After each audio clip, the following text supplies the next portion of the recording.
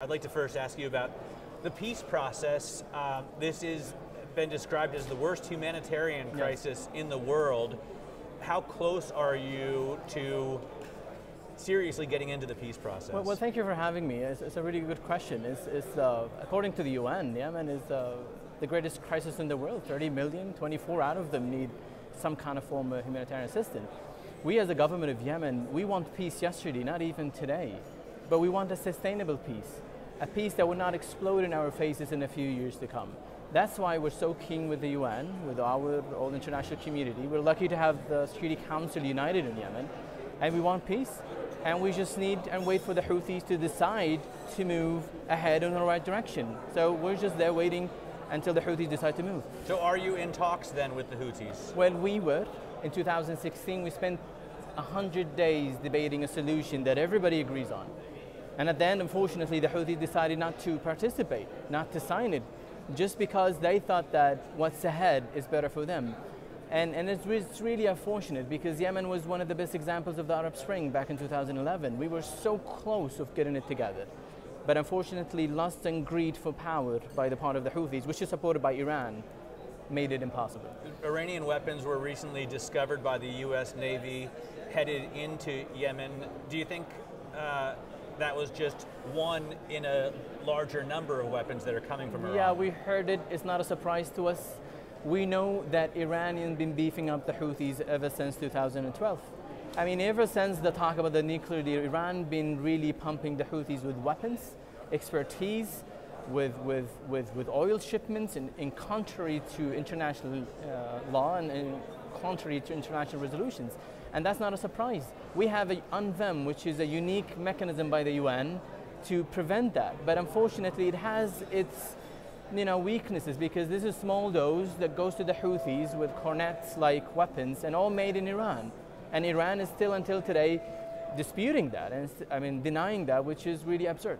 We had uh, the U.S. Secretary of State Mike Pompeo in Saudi Arabia talking with Faisal al-Assad about de-escalating the violence. Is the U.S. playing a, a, part, playing a role in the peace process? I mean, let me be frank with you. Ever since the maximum pressure of the uh, Trump administration being going on against Iran, we've seen good results. We know that the Houthis are puppets of Iran, obviously, and obviously, and, and, and, and to be honest with you, if we had this maximum pressure back in 2016, I think we would have signed a deal back in Kuwait. But unfortunately, we don't have it that. The Houthis need to know that they cannot rely on Iran. They have to just go back and talk peace with us. And the only way to do that is to de-escalate and to talk peace according to the international uh, law and international resolutions, including 2216.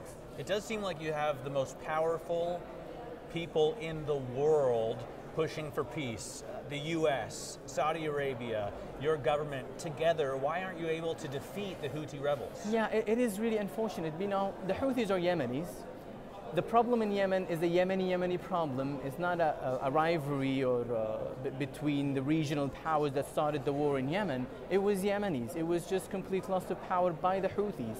The Houthis were part of the deal.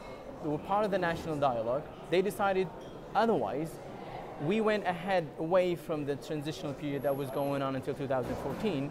We just want to diffuse and crack their false illusions of power. They think that if they just continue to hijack Yemen, hijack the airport in Sana'a because they don't want to open it for, for internal flights, hijacking all the peace processes, that the, the, the, world will get tired of them and they just recognize them. I think that's, that's an illusion that needs to be cracked. And, and I like the messages from the United States. They're strong against Iran, they're strong against the Houthis, and I think we would have a shot in peace if we consist and if we persist on this pressure. So here at the Munich Security Conference, Secretary Mike Pompeo is here, uh, Defense Secretary Esper is here, Energy Secretary Brouillette is here, um, Nancy Pelosi, the Speaker of the House, is here are you able to speak with the Americans about doing yes. something at this conference? Yes, yes, we were in contact, we have meetings, and, and I think our message is consistent from our ambassadors, from their meetings with us in Riyadh and also in Aden.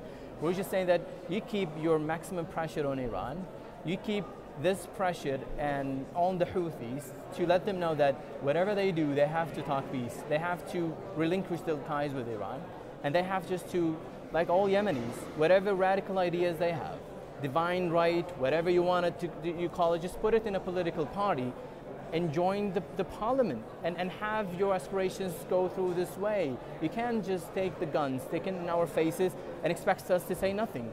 And I think the message is, is clear now. Today, uh, or yesterday probably, they have a conference in Brussels because they want to deal with the Houthis' intransigence and obstructing a humanitarian, which is gone wild. The world cannot just stay silent about the Houthis.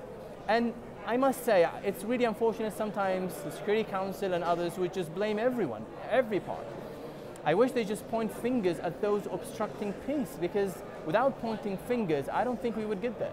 So your message then to the U.S. is keep the pressure on Iran in order to make peace in Yemen. Keep the pressure on Iran, and you will see peace in Yemen.